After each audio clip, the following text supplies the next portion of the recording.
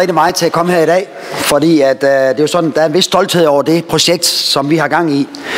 Øh, jeg vil lige starte med at sige, at jeg kan desværre ikke være her øh, hele eftermiddagen, øh, og er nødt til at tage herfra her, når vi har pause, fordi at, øh, jeg skal hjem også til noget, der har med ildsjæle og frivillighed at gøre, kan man sige. Det er vores store idrætsfest, der foregår her i aften i, øh, i Holstebro.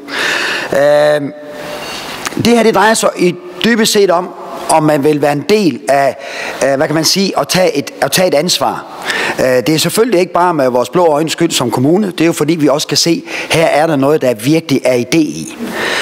Øh, den, den, hvad skal man sige, den sociale kapitel, nu hørte jeg lige øh, det her fantastiske ord, det, det, det sociale enzym, og der kan jeg se, der er noget, jeg skal have, jeg skal have, jeg skal have læst.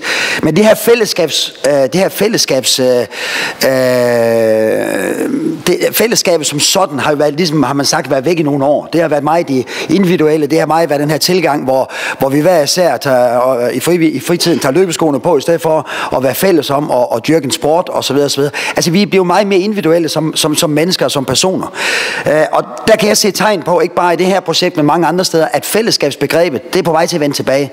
Det er som om vi her mennesker, vi, vi, har, vi, har, vi har manglet noget i, øh, i nogle år, og der tror jeg faktisk, krisen har været godt for noget. Jeg tror faktisk, krisen har været godt for at ryste os noget mere sammen. Det vil sige, der finder man ud af, og, og, og der finder man nogle ressourcer og nogle andre ting, vi har brug for. Og når jeg siger det her, så er det fordi, det der hedder det sociale ansvar og det sociale kapitel, det gør vi på andre måder også i Holstebro. Øh, jeg var lige i går til, til øh, Kommunal Økonomisk Forum i, i Aalborg uh, om at tage hjem, fordi jeg skulle videre her til i dag. Uh, men, men det drejer sig om, at, at, at vi faktisk som kommune er blevet udpeget sammen med, med otte andre kommuner og en stor rapport, Deloitte har lavet, om otte kommuner, der, der laver beskæftigelsesindsatsen uh, meget målrettet mod de enkelte. Og det vi har gjort eksempelvis i Holstebro for som parallel til det her, det er, vi har, vi har lavet et, øh, et, et, en fond, der hedder, der hedder Code of Care, som drejer sig om at tage det sociale ansvar ud i virksomhederne. Vi har lavet et advisory board, hvor der sidder 10 store virksomhedsledere bagved og er med til at ude, øh, øh og se ideen i, at vi uddanner 70 mentorer, som er ude på virksomheden, til at tage sig af alle de her, I, I hører snakke om, der falder ud af vores arbejdsmarked, som har problemer måske en eller anden måde til at komme ind på arbejdsmarkedet i, øh, i, i ordinære jobs. Men det er for ligesom at, sætte, og, og, og, og køre over på at sige, jamen det er en del af det, som også er profilen for en kommune i dag. Vi skal se det i det brede perspektiv.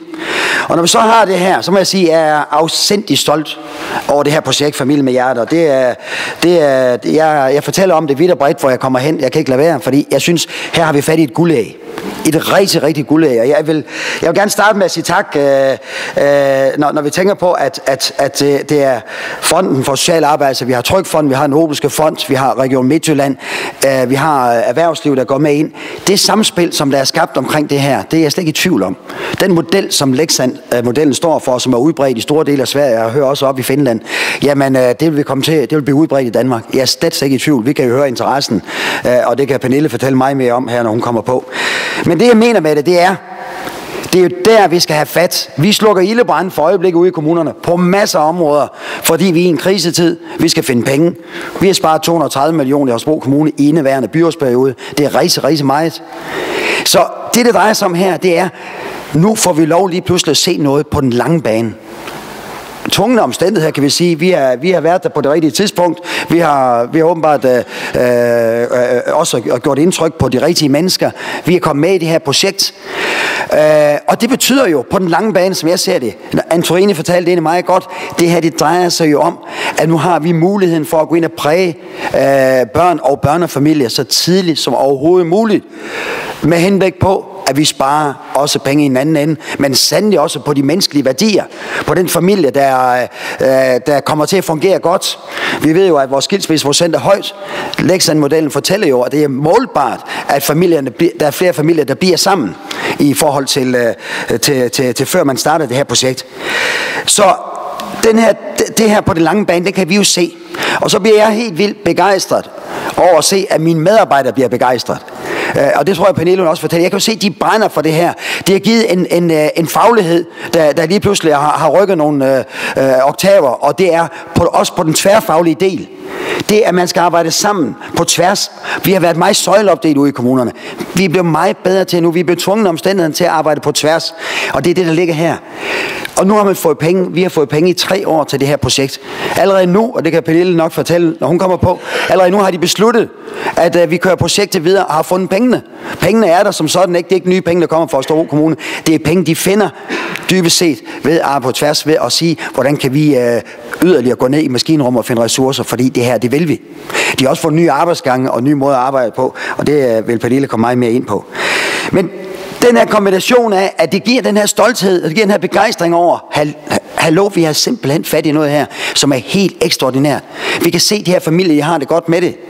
Altså, jeg er jo selv øh, far til tre børn, og de er jo så voksne nu, og har også fået et barnebarn. Og jeg kan da selv huske, hvordan det var at stå i rollen ja, man var da ikke så sikker på tingene, og min ældste datter, da, da, da hun fik barnebarn, der fik hun det her store leksikon, man kan få en barn, det første barn, ikke? så nu skulle hun bare sørge for, og så videre. Ikke? Den understøtning, vi laver her, det er jo lige nøjagtigt det, de har brug for.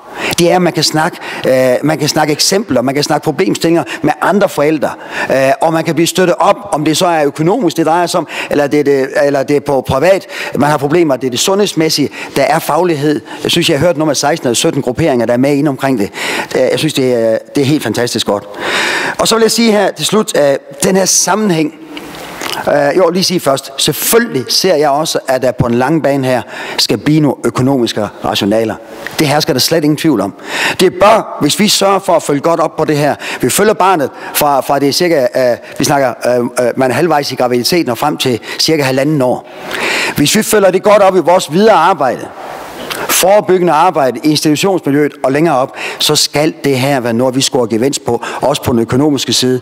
Ikke mindst, når vi kommer op i skolerne og snakker om, at vi skal inkludere flere børn. Til sidst, den del med frivillighed, det er jo helt fantastisk. Civilsamfundet skal være inddraget. Civilsamfundet skal, skal være med til at understøtte, også på mange flere sider. Jeg nævnte det før omkring øh, øh, erhvervssamarbejde. Det kommer på mange flere fronter. Det her det er bare starten på noget, der bliver en del af en fremtid. Det skal være mit indlæg.